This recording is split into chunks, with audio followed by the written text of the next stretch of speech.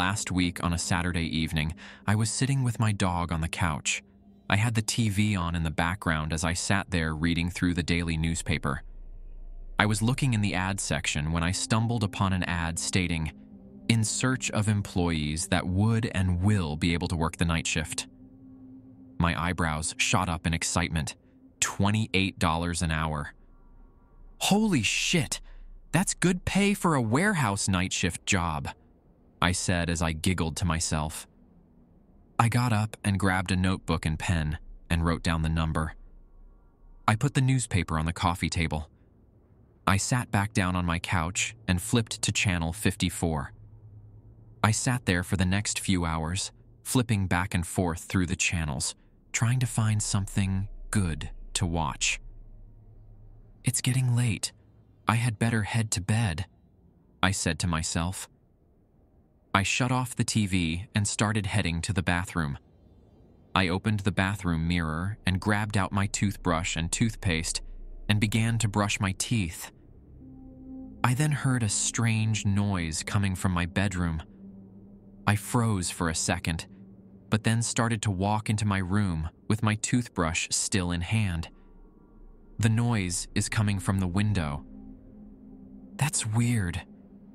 Maybe it's a tree branch smacking against the window, I thought to myself. I walked back into the bathroom. I finished brushing my teeth and then proceeded to walk back into my room. I shut off the bedroom light and laid down in bed to fall asleep. I woke up the next morning in a cold sweat. I looked around in confusion. It almost felt like I was being watched.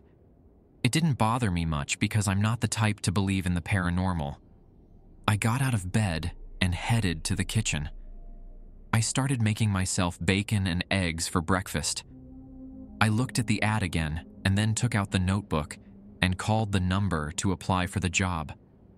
I was answered by a really nice man. Hello, this is the warehouse department. My name is Jack. How can I help you today?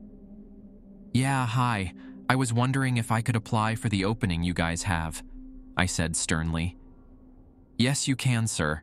Come down to the warehouse later today, and we will just interview you. There's no need to apply, he said in a cheerful tone. Oh, okay. I will be there at 4 p.m. Does that sound good to you? I said excitedly. Yes, it does, the man said. We said our goodbyes and hung up the phone. It was currently 9:43 a.m., so I had all day to get ready and relax a little bit. I sat down on the couch and flipped on the TV. I scrolled through the channels quickly until stopping on the History Channel. I sat there most of the time until 3:30 p.m. It was a decently long drive to the warehouse, probably 20 minutes, so I wanted to start driving early. I got dressed in a nice plaid button-up shirt and a pair of khaki dress pants. I grabbed my keys and headed outside to my car. I got into my car, took a deep breath, turned the key, and drove off. I got there right on time and saw the sign main office. I parked my car as close as I could and started walking up to the door. I got in, and the cool, air conditioned air hit me like a train. It feels nice here, I thought to myself, seeing it was a hot, stuffy summer day here in Florida. I was greeted by the man I had talked to on the phone. Hi, Jason. It's nice to meet you, he said. I smiled back at him and shook his hand. Nice to meet you too. He took me into a small little office, and I sat down in front of his desk. All right, let's go over a couple of things here, he said while pulling out a folder of papers. He started asking me all kinds of questions like How far away do you live from here? Are you physically able to run at any moment? Do you have good eyesight? And Can you memorize rules and other stuff easily? They were weird questions. Some I didn't see why they were important at all. I just answered truthfully, and he said, All right, you got the job. Here are the papers you need to read over, and you'll be all set, Your first shift will start tonight at 12:30 a.m. Make sure to read the paper that is titled Rules. It is very important, he said in a serious way. I got up and walked out of the building. I hopped in my car and set the binder he had given me on the seat next to me, and I drove home. When I got home, I took out all the papers and started reading them. It wasn't too unusual, just normal procedures and regulations. But then, the paper he told me that was the most important one had caught my attention. Rules. Make sure to follow these rules to the fullest, and you'll be safe while working. Follow them no matter how dumb or fake they sound. I glanced through the rules and thought, what the fuck are these dumbass rules for? I started reading through them soon after. Rule 1 When you arrive at the warehouse, you will be accompanied by two cars that will start following you at the entrance of the parking lot. Ignore them and walk into the main office and don't look back. If you look back and you see figures getting out of the car to the right, lock the door to the office and call us. Rule 2 Once you get into the building, the lights will be off. Turn them on quickly and make your way to the locker room. Make sure to turn on the light in there too. Rule 3 Once you're dressed and ready to head and make your first rounds around the warehouse, go into the security office and check camera 9. This rule is rare, so you don't have to really worry about it. But if you do see something in it, grab the hammer that is located to the right of the monitors and smash it. Rule 4 At 1:30 a.m., exactly make your way back to the security office it doesn't matter if you're in the middle of something, just go. Once in there, you'll see a little girl on cam 3. Turn on and off that monitor five times and it should be gone. Rule 5. At 2:30 a.m., you will hear a loud banging coming from one of the doors that go into the main floor. Quickly run up to it and bang back on it 3 times and it should stop after a few seconds. Rule 6. While patrolling the basement, do not look up. Keep your eyes low. If you do look up, run. Rule 7. If you see a tall man with a wide smile coming towards you, don't look into his eyes. He will keep asking you. Just close your eyes and wait 60 seconds and he should leave you alone. If you do look into his eyes by any chance, he will take your soul. Rule 8. If you hear a scratching noise coming from above you, do not look up. Rule 9. If you see the little girl you had seen on the camera and she asks you to help her find her mom, tell her, Not right now, sweetie. I'll help you later. Once you say this, she will disappear. Rule 10. At 4:30 a.m., exactly descend back down to the basement. Once down there, you will notice it has completely changed. Walk up the stairs until you reach a shrine. Light the candles with the lighter that will be sitting next to them and clap and bow your head for 10 seconds. Rule 11. At 5:30 a.m., make your way back to your office and lock the door behind you. This is where you will spend the rest of your shift until 6:30 a.m. If you hear loud banging noises coming from the door and voices asking you to open it, ignore them and wait until your shift is over. What the fuck is this? Is this some kind of joke? I thought to myself in anger. This must be a joke to scare the new guy, I said. I put down the notes and went to take a nap, not really paying those dumbass rules any mind. I woke up to my alarm blaring I turned it off and looked at the time 12 a.m. I got up and got ready for work, heading out the door. I heard that same noise I had heard the previous night, the tapping noise at my window. I had to be at work soon, so I just turned back around and drove off. Forgetting all about the rules, I got there late. As I was pulling into the parking lot, I could see cars parked on either side of the entrance. That is weird. It is a bit late to be sitting out here, I thought to myself in confusion. I drove past them, and before I knew it, their headlights flipped on and they started to tail me. I tried to get a good look at them through my rearview mirror and saw nothing. I quickly looked behind me and they were there again. What the fuck is going on? I said, frightened. I can't see them through my mirrors. I pulled up next to the office parking lot and stopped my car. They stopped with me. Being a couple of feet behind my car, I started to get upset, and I was about to get out and start screaming at them when I remembered Rule 1. When you arrive, two cars will follow you. Ignore them and proceed to walk into the building. This isn't funny, I thought to myself as I got out of my car. They are taking this too far, this little dumb prank of theirs.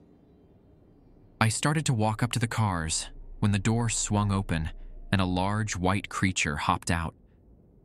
I froze for a second and then started running to the door of the main office, opening the door and slamming it shut in one motion. Bagging erupted from the other side of the door. What the fuck is going on here that looked nothing like a human? I said to myself as I held the door from coming off the hinges. I quickly flipped on the light and dialed the company number that was on the paper of rules. A lady answered, and I started screaming, There is something trying to kill me. I had a million questions running through my head at this point. Stay calm, sir. Let me guess you broke Rule 1? She said, while giggling. This isn't funny. What is that thing outside the door, that white, tall creature?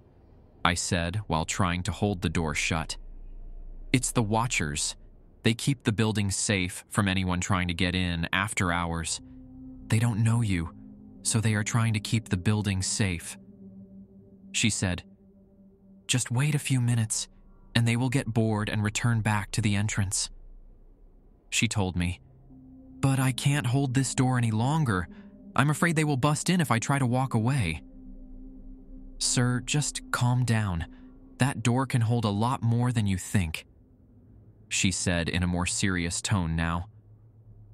I walked away from the door and the phone hung up. The banging stopped after a while, and I slumped onto the ground. This can't be happening. This can't be real.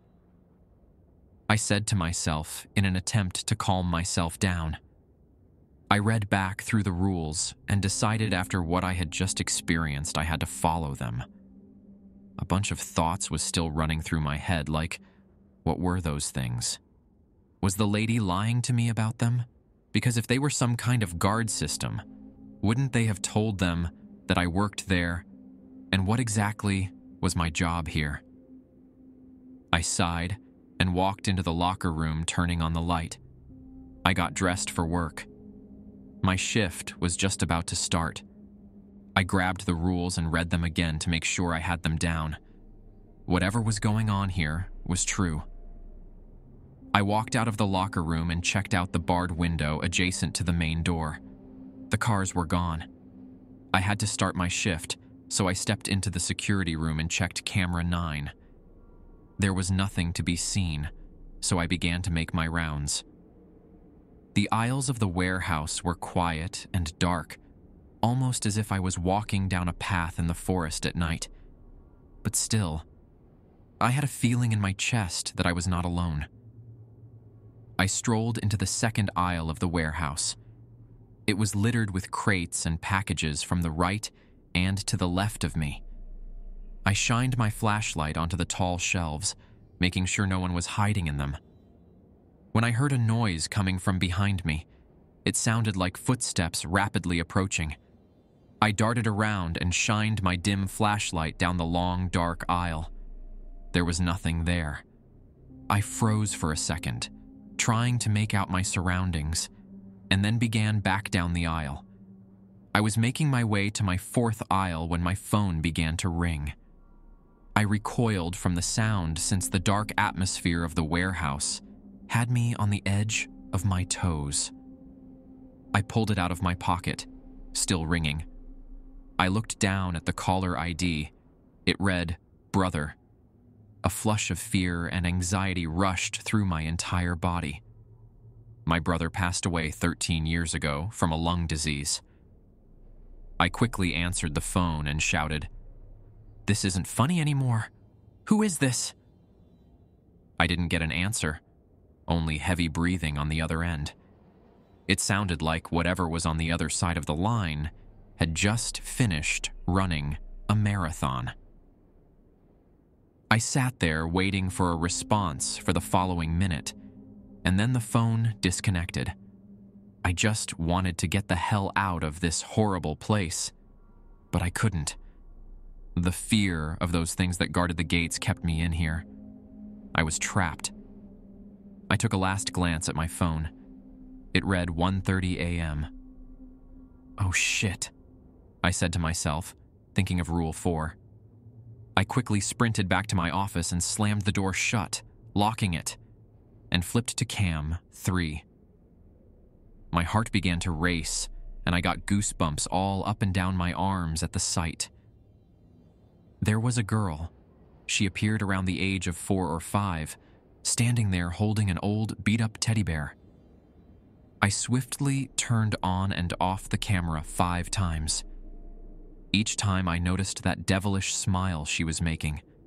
Once I had finished, she was gone. I sat down in the chair, gasping for air after all the running I had done. I collected myself a moment later and returned to the main floor and began my rounds once more. I finished up my rounds of the first part of the building rather quickly and made my way down to the basement. As I walked down the stairs leading to the basement, I sensed a change in the atmosphere. It almost felt like I was being watched, and the feeling was coming from right above me. Rule 6 While patrolling the basement, do not look up. Keep your eyes low. If you do look up, run! I remembered, and I kept my eyes low. The hallways of the basement were tattered and dusty. It looks like no one has been down here in decades. Cracks on the floor and walls, and ancient books and crates scattered around. It was completely pitch dark. The only source of light I had was my flashlight, which only lit up around three or four feet in front of me. As I wandered there, I felt a constant urge to look up. It was always in the back of my mind all the way through. Look up, look up, look up. No, I told myself. I was making my way back towards the stairs after I had finished up my rounds in the basement when I rounded the first corner. I froze. What I saw in front of me was the little girl I had seen on the camera. She was standing there with a big, wide smile and holding the same teddy bear, but I could see it much clearer now. It appeared normal for the most part. Besides, there were a set of human eyes and fingernails as claws. I almost wanted to vomit at the sight. Hey, mister, can you help me find my mommy? She said. Her voice didn't sound human at all. It sounded demonic and evil. I worked up enough courage to yell at her from the frustration and fear I had been through tonight. No, I can't. I'm busy right now, little girl. As I said this, she began to transform into an enormous goat like creature and said, you broke the rule! She had an impossibly wide smile, much bigger than before. In a quick motion, she picked me up and threw me against the wall next to us. I noticed multiple pops in my chest and back and coughed up blood on impact. I then grunted in pain. I broke Rule 9. I blacked out. As I began to wake up, I felt a sharp pain in my side and back. As I struggled to sit up, I remembered what had happened. I broke Rule 9, and that thing attacked me. As I got up, I felt like I was about to pass out again. I checked my phone and it said 2:38 a.m. I had been out for around an hour. I began to make my way up the stairs, holding my chest and back. As I got up and walked through the door, I heard a loud banging coming from across the warehouse. I took out my bloody, crumpled up rule sheet and read Rule 5. At 2:30 a.m., you will hear a loud banging coming from one of the doors that go into the main floor. Quickly run up to it and bang back on it three times, and it should stop after a few seconds. I tried to run, but I couldn't. The pain in my chest and back was too much for me to handle, so I slowly advanced towards the sound. As I got up to it, it sounded much more intense, like it was getting more frantic by the second. I banged on it three times, but it didn't stop.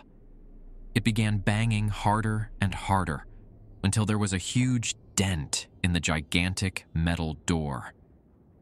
I slumped over onto the door, not caring anymore when out of nowhere it stopped. I began to cry and asked myself why I even came here in the first place. Was it because I wanted the money? Or simply wanted a new start in a new job? I sat there for what seemed like 30 minutes, and I told myself if I wanted to get the hell out of here, I had to finish up my tasks. I got up and made my way to the second part of the building. As I got up to the door, a foul odor came from the building. It was the worst smell I had ever smelt in my life. I threw up onto the cold, hard floor below me, leaving a puddle of vomit. It smelled like death, like something had been rotting in here for months. I plugged my nose with my fingers and used my other hand to hold the flashlight. Still, in intense pain, I stumbled down the first aisle. After finishing it, I went to the next, then the next, and so on. Once I finished my rounds, I glanced at the clock. 3:26 a.m. I then made my way to the last part of the building. While walking there, I heard a strange scratching noise coming from above me. I stopped and froze in fear. I looked up to see what the noise was. I wish I didn't have. Two large, bright red eyes were looming above me. I started running, adrenaline rushing through me. I had forgotten all about my injuries. I was about to get to the door when a tall man rounded the corner. He had a red suit on and dark dress pants. I stared up at his face by instinct, and what I saw gave me goosebumps. His face was blank and pale. The only facial feature he had was a long, pointy tongue coming from where his mouth was supposed to be. I stopped for a second and began to run once more. I had two things chasing me. I got up to the door and slammed it shut, locking it, and loud banging erupted from the other side. I looked around and spotted an exit. I gotta get the hell out of here, I said to myself in an exhausted and painful tone.